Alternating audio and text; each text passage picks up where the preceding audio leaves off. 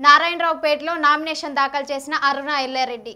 సర్పంచ్గా బొంగుర అరుణ ఎల్లారెడ్డి అని నేను మరియు హరీష్ అన్న ఆశీర్వాదంతో సర్పంచ్గా ఎన్నుకోవాలని నేను ముందుకు వస్తున్నాను. మరియు నారాయణరావుపేట గ్రామ గ్రామంలోని సమస్యలు సీసీ రోడ్ల సమస్యలే కానీ మరియు మురికి కాలువల సమస్యలే కానీ మహిళ మహిళ మండల సమస్యలే కానీ మరియు విద్య వైద్య హాస్పిటల్స్ కానీ ఇవన్నీ మేము ముందు పరిష్కరిస్తాం. మరియు రైతు బిడ్డగా నేను ఈ విలేజ్లోనే ఉంటాను. మరియు మా గ్రామ ప్రజలు భారీ భారీ మెజారిటీతో నన్ను గెలిపించాలని కోరుకుంటున్నాను.